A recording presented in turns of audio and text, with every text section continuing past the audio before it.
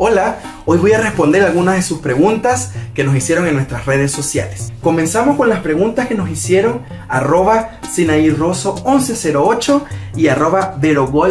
Muchas gracias por preguntar qué significa biodiversidad y cómo se le puede explicar a los niños. Muy fácil. Biodiversidad se refiere a esa variedad de seres vivos que existen en nuestro planeta. Sin embargo, siempre escuchamos variedad de animales, variedad de vegetación o de plantas. Pero estamos olvidando bacterias, estamos olvidando hongos. Por lo tanto, debemos estar incluidos en la biodiversidad, incluyendo los ecosistemas donde los seres vivos se desarrollan. Perfecto, vamos con la segunda pregunta, arroba Illuminati.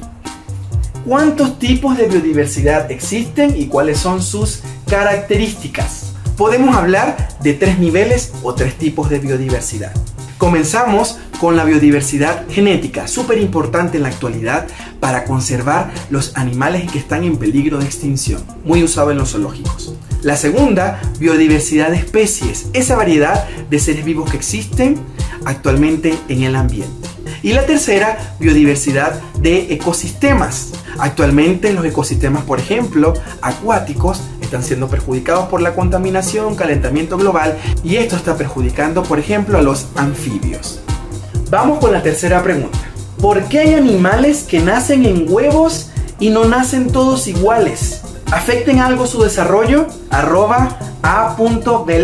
¿Por qué hay animales que nacen en huevos y no nacen todos iguales? ¿Afecten algo su desarrollo? Muy interesante tu pregunta. Te comento que por supuesto reptiles, aves y algunos peces son ovíparos. Ellos ponen huevos para poderse reproducir y pueden llegar a poner, en el caso de las tortugas, más de 100 huevos. Ellos tienen una ventaja. Cuando nacen las crías, tienen una yema en el ombligo compuesta por grasa y ellos no deben alimentarse. Simplemente las crías van por allí, por supuesto escapando de los depredadores y ellos van consumiendo esa grasa hasta que llegue el momento en que pueden alimentarse, son suficientemente grandes para hacerlo.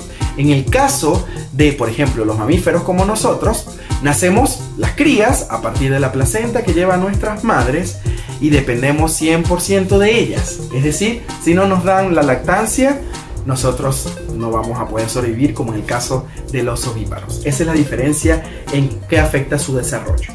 Vamos con la siguiente pregunta. ¿Cómo se origina un virus? Arroba Nicololol piso 2013. Bastante eh, acorde a tu pregunta con la actualidad. Mira, los virus ya sabemos o vamos a recordar que son pequeños trozos de material genético. Pueden ser de ADN, que es un poco más complejo, o de ARN. Ellos necesitan hospedarse en una célula, por supuesto, para poder reproducirse. Existen varias teorías para explicar su origen, sin embargo, todas coinciden en que los virus seguramente estaban allí al momento en que las células comenzaron a evolucionar. A diferencia de otros seres vivos, los virus no dejan fósiles, por lo tanto para los científicos es bastante complicado analizar y descifrar cómo fue ese primer virus que se originó.